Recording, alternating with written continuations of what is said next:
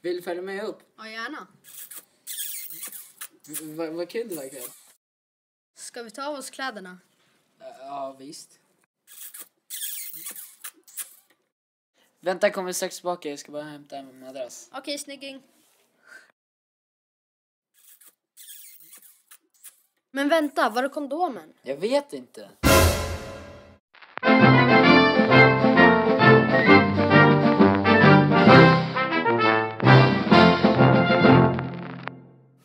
Nu ska vi ha kul! Det var jättekul igår kväll. Ja, visst var det?